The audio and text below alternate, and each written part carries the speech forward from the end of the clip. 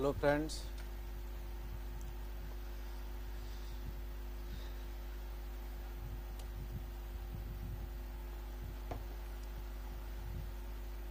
आज हम लोग अप्लाइड मैथ नंबर में अप्लाइड मैथ नंबर में इंडाइसेस ये बहुत इम्पोर्टेंट चैप्टर है। ये मैं आपको पढ़ाऊँगा आज। इंडाइसेस उसके बाद लॉगरिदम एंटी लॉग अप्लीकेशन फिर मैं आपको कॉम्प्लेक्स नंबर पढ़ाऊँगा। राइट इंडाइसिस का मतलब है पावर्स के रूल ये आप टेंथ क्लास में भी पढ़े होंगे नाइन्थ में भी पढ़े होंगे। लेकिन इस क्लास में थोड़ा सा आपको क्या है? कि एडवांस आपको पढ़ना है। राइट तो थोड़ा हम इंडाइसिस के रूल्स को पढ़ें। वेलकम टू ऑल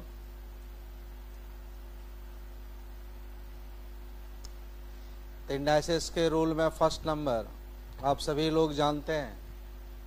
फिर भी ये चैप्टर अप्लाइड मैथ में है, बहुत इजी है। सवाल, जो भी एग्जामिनेशन में रहेगा, जितने टाइप का रहेगा, क्या रहेगा, क्या नहीं रहेगा, सब एक एक करके हम डिस्कस करेंगे। आप ये सब चैप्टर को बहुत आसानी से पढ़ो। बहुत आसान है नंबर लाना भी आसान है। और जब तक आप एलेवन सही से नहीं पढ़ोगे, तब तक राइट तब तक आपको ट्वेल्थ में फिर अप्लाइड मैथ में परेशानी होगी। तो इंडाइसिस चैप्टर को जरा आप लोग ठीक से पढ़ें राइट जो जो लोग सब्सक्राइब नहीं किया सब्सक्राइब ज़रूर करेंगे। सब्सक्राइब करने का बेल ज़रूर बजाएँगे। सब्सक्राइब आप जैसे ही करोगे। जो भी वीडियो मैं डालूँगा, तुरंत आपके पास पहुंचेगा। आप उसको देखें, आगे अपने दोस्तों को भी बोले। राइट? तो इंडाइसिस की बात करते हैं हम लोग। देखो, अगर हम ए को एन टर्म तक मल्टीप्लाई करते हैं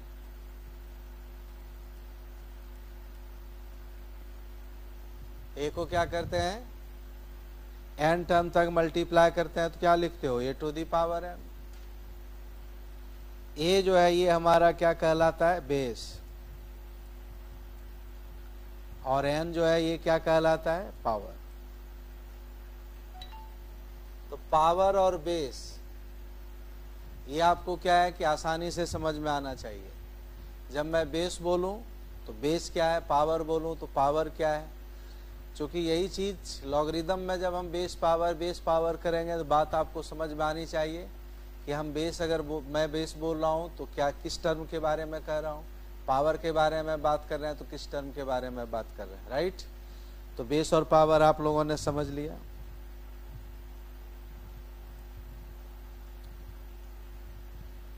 नंबर टू क्या इसका मतलब होता है ये भी समझ लीजिए।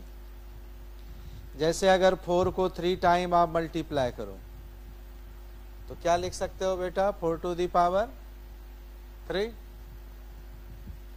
ये नोटेशन को आप समझिए, बहुत आसान है। सेकेंड ए को अगर हम एन टाइम्स क्या करें ऐड करें,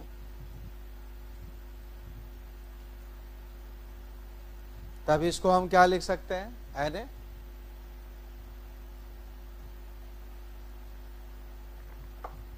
ए को अगर एन टर्म तक ऐड करोगे तो क्या लिखोगे? एन ए हम लिखेंगे। जैसे एग्ज़ाम्पल के तौर पर फोर को अगर थ्री टाइम ऐड करो तो क्या लिखोगे? थ्री इंटू फोर बात आ गई समझ में? नंबर थ्री पॉइंट देखो, अगर इस तरह से लिखा हो छोटे छोटे पॉइंट हम समझाएँगे। ये सारे पॉइंट समझ में आ जाए तो फिर बड़े बड़े सवाल भी बनाएँगे। एक समय में कोई एक ही कॉन्सेप्ट का हम इस्तेमाल करते हैं। तो किसका क्या मतलब है? अगर ये बात हमको समझ में आने लगे धीरे धीरे तो बड़े बड़े सवाल में क्या होते हैं? दो या दो से अधिक जो फॉर्मूले है, उसका एक साथ इस्तेमाल होता है। तो ये छोटे छोटे जब आपको आने लगेंगे तो बड़े बड़े क्वेश्चंस भी आपको बड़ी आसानी से आने लगेगा। इसलिए आपको घबराने की ज़रूरत नहीं है। अगर ऐसा लिखा हुआ है तो इसका क्या मतलब हुआ? इसका मतलब है a to the power one by. या इसको हम क्या पढ़ते हैं? Nth root of a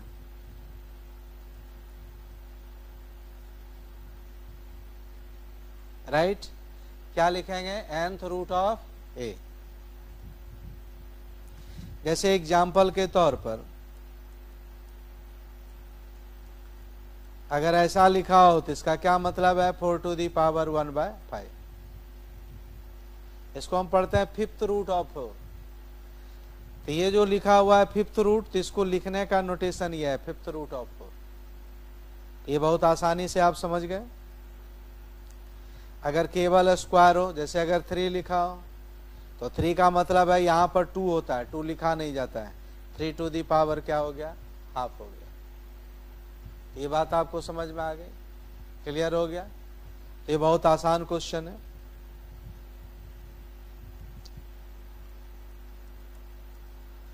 किसका क्या मतलब है ये बात आप समझ रहे हैं आसानी से? नंबर फोर पावर यदि निगेटिव हो, ध्यान से आप समझो कि पावर अगर निगेटिव है तो उसको ऊपर से नीचे या नीचे से ऊपर ले जाएँगे तो पावर क्या हो जाएगा? पॉजिटिव हो गया। ए टू दी पावर है। इसके फ़ायदे क्या है? क्या एडवांटेज है? बस इसका एक ही फ़ायदा है। कि अगर पावर निगेटिव हो और निगेटिव पावर में सॉल्व करने में आपको कठिनाई हो रही हो तो आप ऊपर और नीचे ले जाके क्या है कि आप पॉजिटिव पावर बना के सवाल को सॉल्व कर सकते हैं। दूसरा पॉइंट कि कुछ पावर पॉजिटिव है, कुछ पावर निगेटिव है, तब यहाँ पर, वहाँ पर, यहाँ पर पॉजिटिव पावर बनाने में आप इसका इस्तेमाल कर सकते हैं। राइट ऐसा नहीं है कि निगेटिव पावर में क्वेश्चंस को सॉल्व नहीं किया जा सकता है। बेटा निगेटिव पावर में भी हम उतने ही आसानी से क्वेश्चन को सॉल्व कर सकते हैं जितना पॉजिटिव पावर में सॉल्व कर सकते हैं। लेकिन कई बच्चों को निगेटिव पावर में कठिनाई होती है। तो निगेटिव पावर में अगर कठिनाई हो तो उसको हम पॉजिटिव पावर में इसकी मदद से हम क्या करेंगे? कन्वर्ट करके सवाल को आसानी से बना सकते हैं। तो बात आ गई समझ में सभी बच्चों को?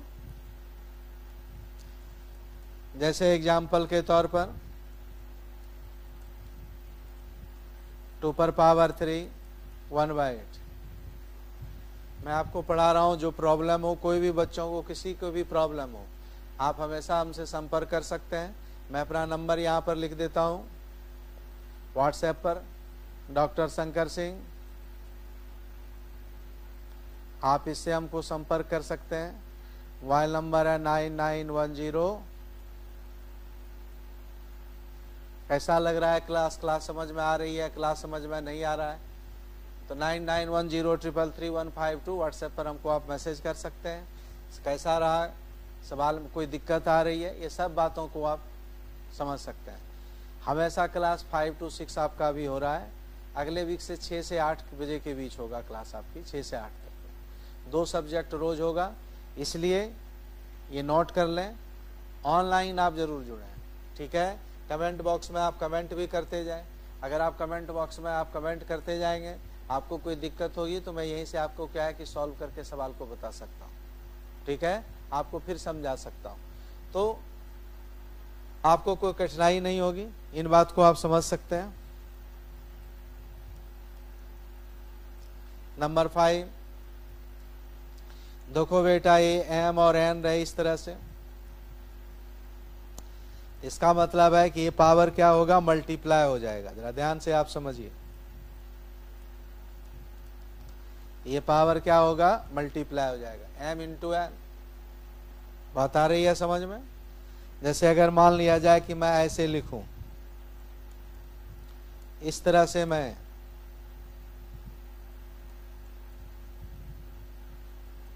x square three for example x square to the power ऐसे थ्री है। दैट मीन्स ये दोनों मल्टीप्लाई करेंगे तो क्या होगा? एक्स टू दी पावर क्या होगा? सिक्स होगा राइट तो ये बात आप समझ जाए जी जब भी इस तरह हो हम डायरेक्ट यूज़ कर सकते हैं। टू पर पावर थ्री और फाइव बहुत क्या लिख सकते हैं? फिफ्टीन ये मतलब आपको समझ में आना चाहिए। जितना मतलब आपको समझ में आएगा सवाल बनाना आपके लिए उतना ही आसान होगा। आगे ये बात समझ में सबको?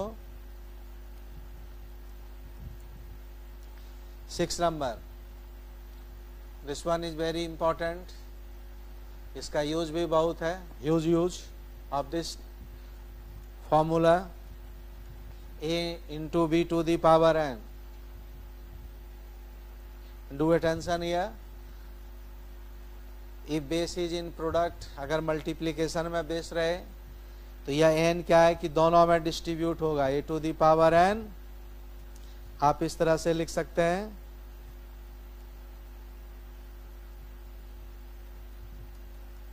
ये दोनों में आप अलग अलग डिस्ट्रीब्यूट कर सकते हैं। लेकिन ये ध्यान रहे आपको कि बेस क्या होना चाहिए? प्रोडक्ट में होना चाहिए। यदि बेस प्रोडक्ट में हो, फिर से समझ लो। तो बेस यदि प्रोडक्ट में हो और पावर एन है तो यह एन क्या है कि दोनों बेस में अलग अलग क्या होगा? डिस्ट्रीब्यूट हो जाएगा। फार्मूले को हम दोनों तरफ़ से देखते हैं। This side to this side R H S to L H S if there is product of two and more than two terms two and more than two terms का अगर आपको प्रोडक्ट दिया हुआ हो तो इस पावर को आप क्या कर सकते हो? प्रोडक्ट हो, ध्यान रहे इनटू में, इस पावर को आप क्या कर सकते हो? कॉमन भी निकाल सकते हो। तो फॉर्मूले को एल एच एस से आर एच एस और आर एच एस से एल एच एस दोनों साइड से आपको क्या है कि बहुत आसानी से समझना चाहिए। क्लियर है? जैसे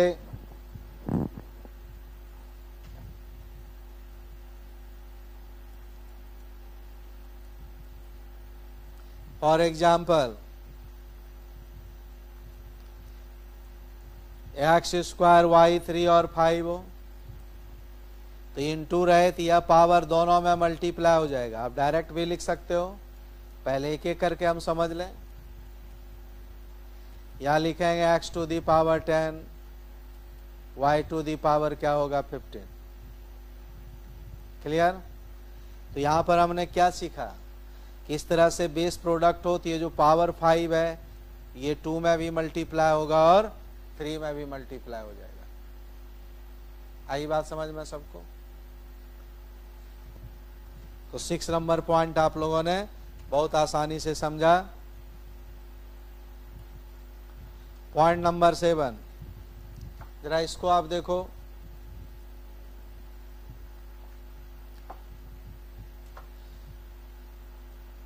इसी तरह से सिक्स है। ये डिवीज़न में हो। तो डिवीज़न में हो, तब भी क्या होगा? ये पावर क्या है? अलग अलग हो जाएगा। जो चीज़ प्रोडक्ट हो या डिवीज़न में हो तो पावर दोनों में डिस्ट्रीब्यूट होगा। बी कभी ज़ीरो के इक्वल नहीं होना चाहिए। क्योंकि अगर कोई टर्म है तो ज़ीरो से हम डिवाइड उसको नहीं कर सकते। आई बात समझ में? तो बहुत आसान है।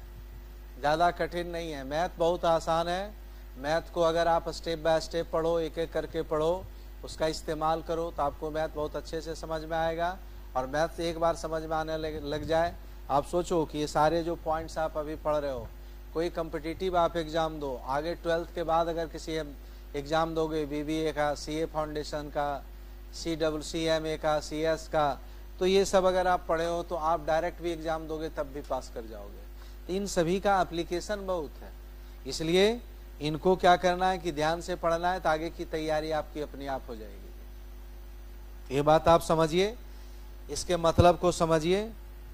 आप भी पढ़िए, अपने दोस्तों को भी बताइए। सब्सक्राइब आप ज़रूर करें। अगर अभी तक आप सब्सक्राइब नहीं किए हो ये मैं बार बार आपको बात बता रहा हूँ।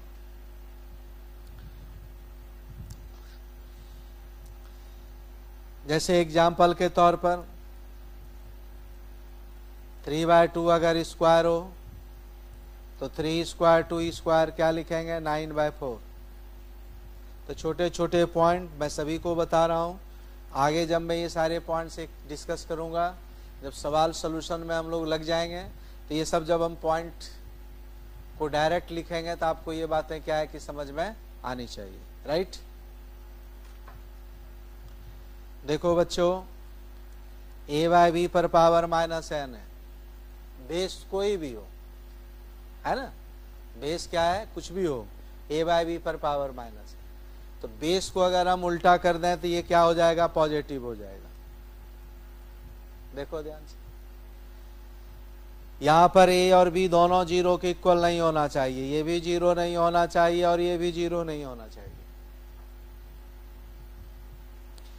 तो यदि पावर निगेटिव हो और बेस को अगर हम उल्टा कर दें तो पावर क्या होगा? वह पॉजिटिव में कन्वर्ट हो जाएगा। राइट जैसे एग्ज़ाम्पल के तौर पर सी ध्यान दो एग्ज़ाम्पल के तौर पर हम लोगों ने लिखा टू बाय फाइव पर power minus two that means five by two पर power two that means five square by two square that means twenty five by four छोटे छोटे पॉइंट्स आने चाहिए। मैथ इज़ वेरी इजी ज़्यादा कठिन नहीं है। आप उसको कठिन सोच के बनाते हो। तो इसको सोचना है बहुत आसानी से। बात को एक एक करके समझना है। अन्य जितने भी सब्जेक्ट हैं, वो सारे सब्जेक्ट में आपको क्या हो जाएँगे? आसान हो जाएँगे। नंबर भी लाना आपके लिए आसान। हंड्रेड आउट ऑफ़ हंड्रेड लाना बहुत आसान। हंड्रेड क्या? ट्वेंटी तो आपका असेसमेंट यहाँ पर एट्टी प्लस ट्वेंटी हंड्रेड का हंड्रेड अभी तो जिस स्कूल में पढ़ते हैं जी, वो वहीं पर आपको मिल जाएँगे। एट्टी नंबर टेस्ट में ट्वेंटी नंबर जो है वो आपको मैम या जो भी सर होंगे वो आपको असेसमेंट में देंगे। तो आप चाहो तो इसमें हंड्रेड आउट ऑफ़ हंड्रेड आप ला सकते हो। क्लियर ये जो चैप्टर आप पढ़ रहे हो, इसी का प्लस मैंने एडवांस में और इसी से रिलेटेड चैप्टर ट्वेल्थ में होगा। इसलिए अलेवेंथ को अच्छे से पढ़ना बहुत ज़रूरी है। जो बच्चे चाहते हो कि ट्वेल्थ में हम hundred out of hundred percent लाएँ। एलेवेंथ में मैथ को आप पढ़ो। जब तक एलेवेंथ में मैथ आपका अच्छा नहीं होगा, तब तक ट्वेल्थ में आपको बहुत ही कठिनाई होने वाली है। Number number nine number point देखो। नाइन नंबर पॉइंट में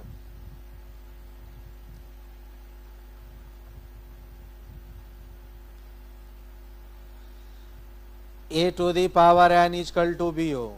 जरा पावर्स को,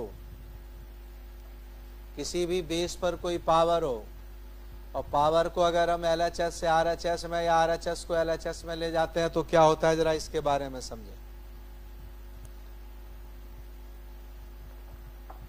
A to the power n b power को अगर हम इधर से इधर ले आए तो ए स्कल टू क्या हो गया? B to the power one by n power को जब भी एल एच एस से आर एच एस या आर एच एस से एल एच एस की ओर ले जाते हो तो पावर रेसिप्रोकल हो जाता है इनवर्स रेसिप्रोकल के क्या मतलब हुआ? जैसे टू का रेसिप्रोकल क्या हुआ? हाफ़ टू बाय थ्री का थ्री बाय टू एन का वन बाय एन राइट देखो, सवाल सोल्यूशन कैसे होंगे? एग्जामिनेशन में. सपोज़ लास्ट में इस तरह से आया three by two equal to one twenty five बेटा एक्स का वैल्यू आपको फाइंड आउट करना है। किसी भी क्वेश्चन को सॉल्व करने का केवल एक तरीका नहीं होता, एक से अधिक तरीका हो सकता है। राइट ये नहीं कह रहे हैं कि ये जो क्वेश्चन मैं सॉल्व करने जा रहा हूँ, ऐसा ही सॉल्व होगा, ऐसा कोई ज़रूरी नहीं है। सॉल्व करने के कई तरीके हैं, जिसमें एक तरीका ये भी है। बात आ रही है समझ में? तो यहाँ पर आप ध्यान से देखो पावर को। थ्री बाय टू है। पावर को बराबर के साइड ले आओ। क्या लिखेंगे? 125 पर power two by three three by two का रेसिप्रोकल क्या होगा? टू बाय थ्री अब 125 को देखो, क्या लिख सकते हो? 125 या कोई भी बड़ा नंबर हो इसको साइड में आप ब्रेक कर लो। 125 है, ब्रेक करो। 25 इसको हम लिख सकते हैं 5 into five into five. Five पर power three, two by three. Right तो थ्री से थ्री कट गया। फाइव स्क्वायर क्या लिखोगे? Five into five. क्या हुआ? ट्वेंटी फाइव हुआ आंसर। आई बात समझ में? क्लियर हुआ? तो जब भी पावर को एल एच एस से बच्चे आर एच एस में ले जाते हैं तो क्या करते हैं? उसका रेसिप्रोकल यानी उल्टा कर देते हैं। तो ध्यान से आपको समझना है, बहुत आसान है राइट तो नाइन नंबर पॉइंट आप बहुत आसानी से समझ गए। टेन नंबर पॉइंट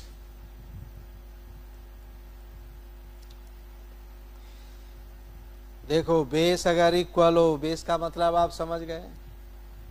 और कोई चीज़ प्रोडक्ट में हो, बेस इक्वल हो और प्रोडक्ट में हो तो इसको हम क्या करते हैं जी? पावर को ऐड कर देते हैं। बेस इक्वल हो और इनटू में हो तो पावर क्या होगा? ऐड हो जाएगा। क्लियर है बात?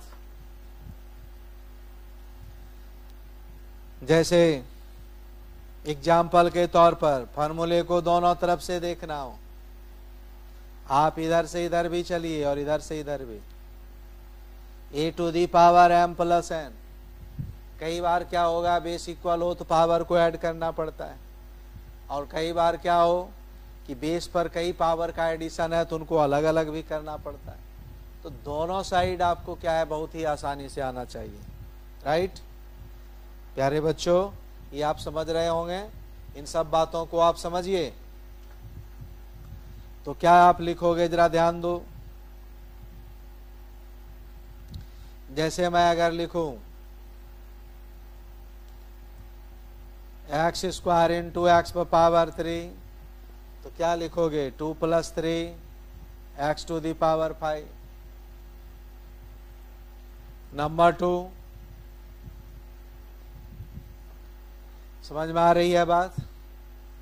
नंबर टू सपोज़ करो अगर ऐसा लिखा है टू एन पर पावर थ्री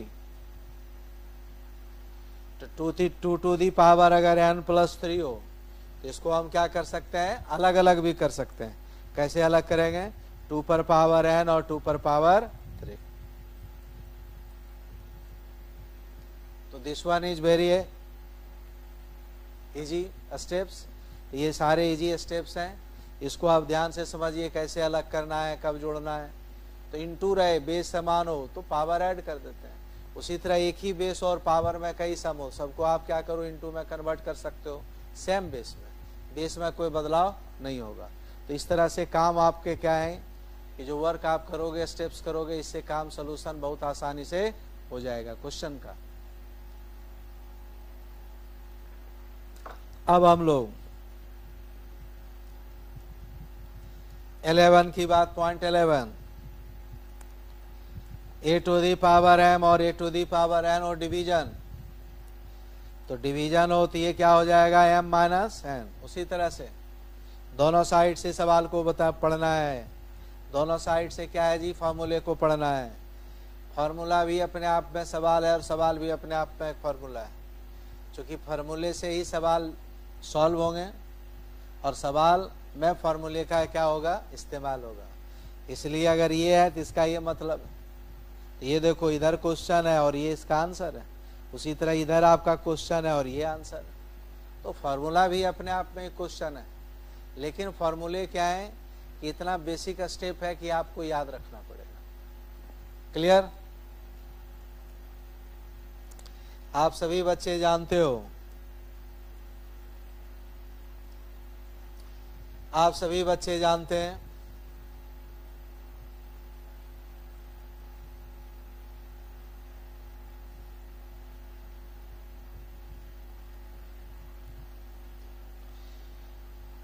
किसी भी नंबर पर पावर अगर आप ज़ीरो करें,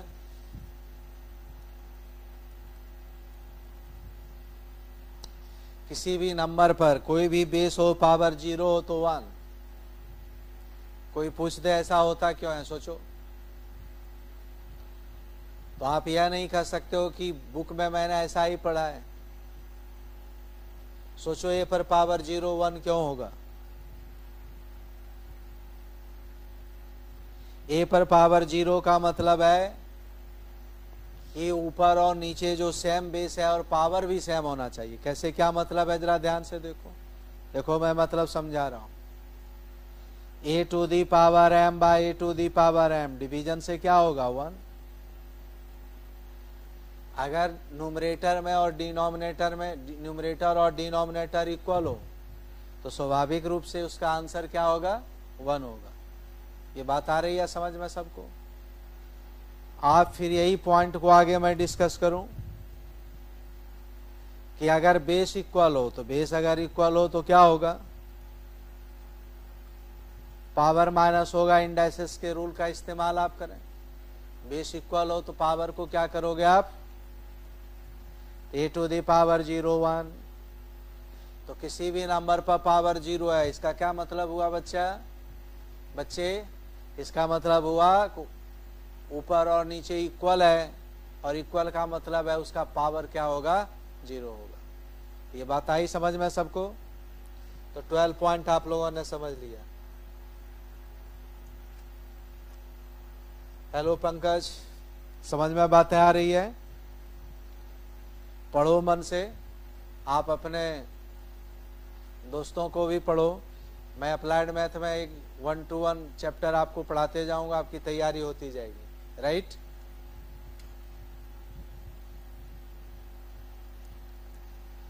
लॉकडाउन का इस्तेमाल कीजिए और घर पर बैठे मैथ सीखो। ए पर पावर ज़ीरो वन आ गया। ये बात आप लोगों ने समझ लिया। अब थोड़ा सा इक्वलिटी का रूल इसमें पढ़ाऊं। देखो ए पर पावर एक्स बराबर a to the power y a to the power x is equal to a to the power क्या है? वाई तो ध्यान दो यहाँ पर, अगर बेस इक्वल हो तो पावर भी क्या होंगे? बराबर होंगे। तभी काम चलेगा। बेस इक्वल हो तो पावर क्या होगा? बराबर होगा। तो इंडाइसिस में दो टर्म इक्वल हो और बेस आपको क्या है इक्वल दिखता हो? तो इसका मतलब है पावर का इक्वल होना ज़रूरी है। और जब पावर इक्वल हो जाएँगे, तभी ये दोनों इक्वल हो सकते हैं। अन्यथा इक्वल होने का कोई चांस नहीं है। जैसे एग्ज़ाम्पल इधर आप एग्ज़ाम्पल देखें। मैं लिखूं टू पर पावर एक्स बराबर थर्टी टू अब एक्स का वैल्यू फाइंड आउट करो। ध्यान से समझो। Two to the power x बराबर थर्टी टू एक्स का वैल्यू फाइंड आउट करना है आपको। Two to the power x, देखिए, थर्टी टू का मतलब क्या हो गया? टू पर पावर फाइव। आप थर्टी टू को आप क्या करो? प्राइम नंबर में ब्रेक कर लो।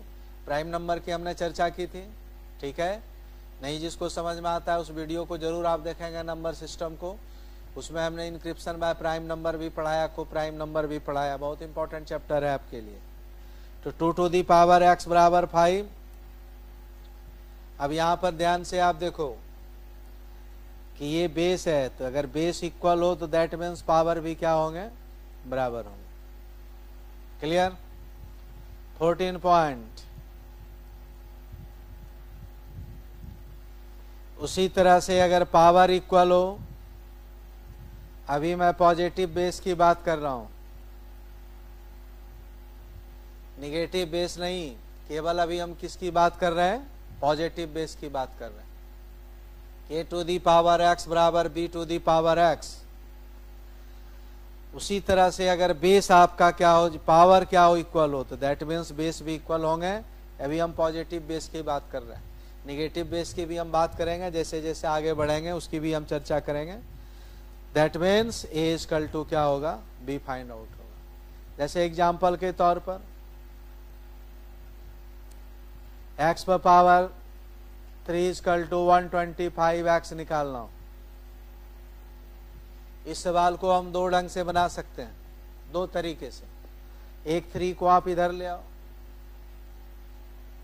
दूसरा है जी कि आप डायरेक्ट इसके कॉन्सेप्ट का इस्तेमाल कर सकते हो। कैसे? आप क्या लिख सकते हो? देखो एक्स पर power three one twenty five को क्या लिख सकते हो? फाइव पर पावर थ्री एक्स पर पावर थ्री और फाइव पर पावर थ्री देखो पावर इक्वल है तो power equal that means base क्या होगा? बराबर होगा।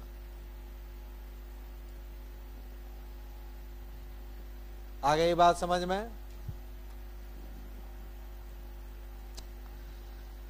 एक और भी पॉइंट इंपॉर्टेंट पॉइंट हम बता देता हूँ। मैं बता देता हूँ आप लोगों को। Number fifteen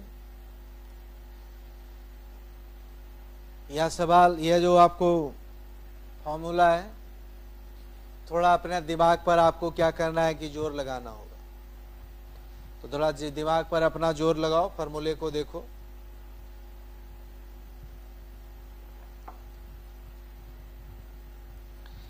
A to the power x a और बी पॉजिटिव बेस की अभी हम बात कर रहे हैं।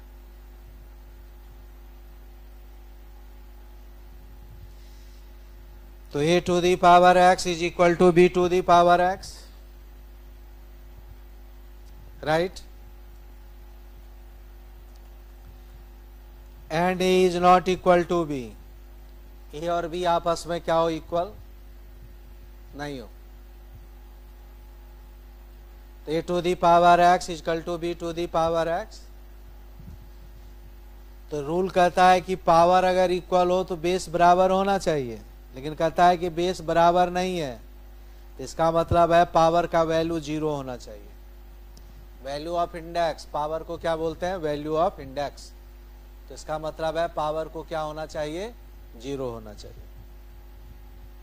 क्या इसका मतलब है? जरा ये बात को आप समझिए। आप सोचो टू पर power x equal to three पर power x how can it be possible कैसे हो सकता है? यहाँ पर हम लोग जो देख रहे हैं, क्या है कि पावर इक्वल है। तो क्या two is equal to three होता है? Two is not equal to three two बराबर थ्री हो जाएगी तो मैथ में तो तूफ़ान मच जाएगा। आंधी आ जाएगी, सैलाब आ जाएगा सुनामी आ जाएगी कि टू इजकल टू थ्री तो अगर x इक्वल पावर इक्वल हो तो बेस और बेस अनइक्वल हो तो ये पॉसिबल तभी होगा जब x क्या होगा? जब x आपका ज़ीरो होगा। क्योंकि आप जानते हैं क्या कि किसी भी नंबर पर पावर ज़ीरो क्या होगा? वन के इक्वल होगा। राइट तो टू पर पावर ज़ीरो भी वन थ्री पर पावर ज़ीरो भी वन इसलिए इस पॉइंट को जरा ध्यान से रखिए याद क्योंकि जब हम आपको सीक्वेंस एंड सीरीज़ जब पढ़ाने लगेंगे तो जब मैं आपको सीक्वेंस और सीरीज़ पढ़ाऊँगा तो वहाँ पर इस तरह के कंडीशन आपके सामने राइज होगा। तो इस तरह का जब भी कंडीशन आपके सामने राइज हो तो इस बात को अगर आप ध्यान में रखोगे तो वहाँ आपको समझने में क्वेश्चंस के सोल्यूशंस में आपको कोई परेशानी नहीं होगी। आई बात समझ में सबको तो ये पंद्रह पॉइंट्स हैं। ये पंद्रह पॉइंट क्या है जी? छोटे छोटे पैक हैं। ये छोटे छोटे पैक से बड़े बड़े धमाके होने वाले हैं। तो छोटा पैक और बड़े धमाके तभी हो सकता है बेटा, जब ये सारे फॉर्मूले जो हम पढ़ते हैं, उसको हम याद रखें। जब हम याद रखेंगे, तभी बात बन सकती है। आई बात समझ में? अब हम लोग कुछ सवाल लेते हैं। राइट कुछ सवाल लें, कुछ सवाल को समझें।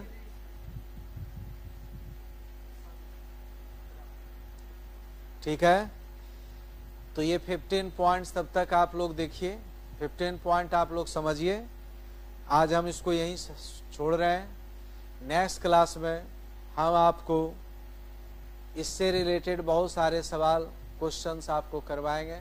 आज के लिए बस इतना ही। धन्यवाद। थैंक यू नमस्कार।